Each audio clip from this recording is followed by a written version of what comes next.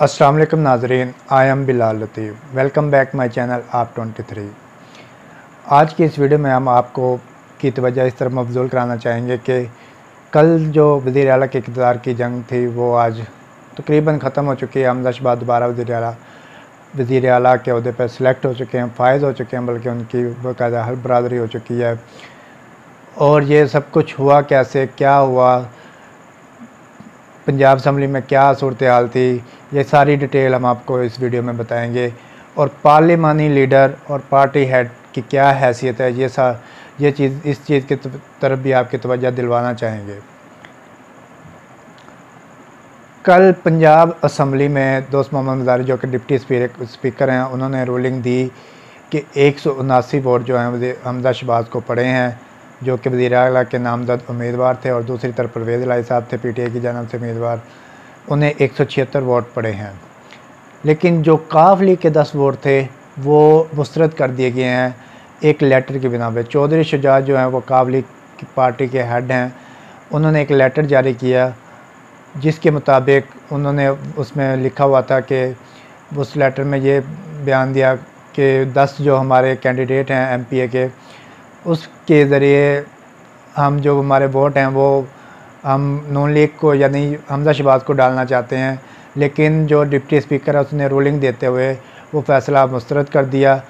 काफ league के दस vote जो थे, वो मुस्रद कर दिए थे। तो एक सौ उनासी वोट जो थे, वो नून लीग को पड़े थे, हमजा शहबाज को और एक सौ छिहत्तर पड़े थे। काफ लीग और काफ लीग के जो सरबरा, अपना काफ लीग के जो सरबराह हैं हमारे स्पीकर साहब, परवेज़ लाई साहब, उन्हें पढ़े थे। तो एक सौ उनासी की बुनियाद पर, अक्सरियती बुनियाद पर वज़ी अला हमदा शबाज को दोबारा नामजद किया गया था।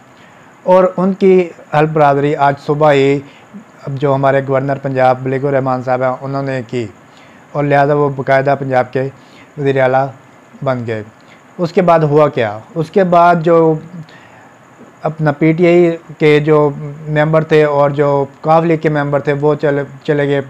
रजिस्ट्री ब्रांच जो लाहौर में थी, सुप्रीम कोर्ट की, वहाँ उन्होंने पटिशन दायर की कि जो अपना डिप्टी स्पीकर उन्होंने रूलिंग गलत दी है। तो लिहाजा उन्होंने जो है, उनसे वो अपना उन्होंने जो डिप्टी रजिस्ट्रार है, उसने वो पटिशन सुनी, उनकी जो दरख्वास्त है, वो सुनी।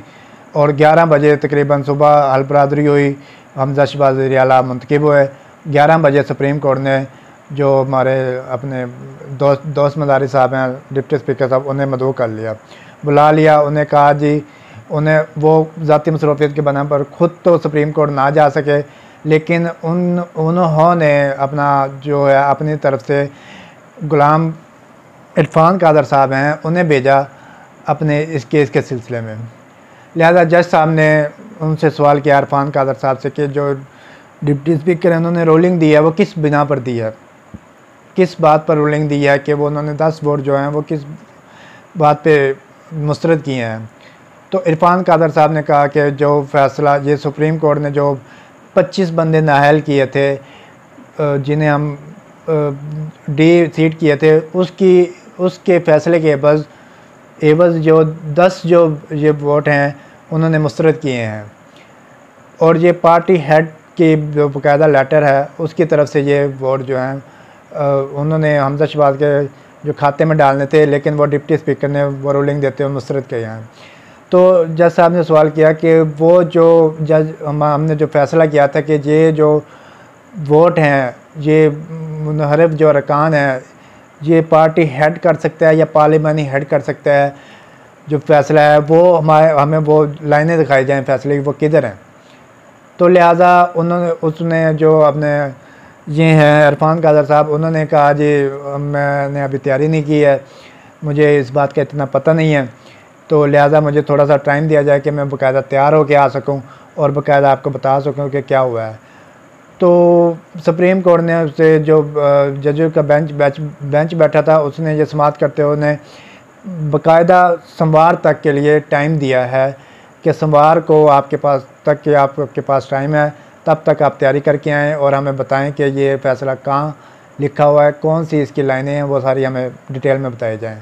इसके बाद दूसरा टॉपिक ये है कि हमजा को उन्होंने अबूरी वज़ी अला वज़ी अला के अहदे से हटा कर अबूरी वज़ी अला दोबारा नामजद किया है और बल्कि लगा दिया है इख्तियार उसके महदूद कर दिए गए हैं और अबूरी वज़ी अला वो होता है जो तकरीर तकर और तबादले नहीं कर सकता, ट्रांसफ़र और पोस्टिंग भी नहीं कर सकता। अपने, यानी कि वो अबूरी तौर पर नाफज किया गया है। उसके बाद अब सोमवार तक ये इकतदार की जंग जो है वो रुकी हुई है। अब देखना यह है कि सोमवार को क्या फ़ैसला आता है। उससे पहले कुछ भी कहना कबल वक्त होगा। लिहाजा हमें सोमवार तक वेट करना चाहिए। अगर आपको हमारी ये वीडियो पसंद आई हो तो लाइक और शेयर लाजमी कीजिएगा। पाकिस्तान जिंदाबाद।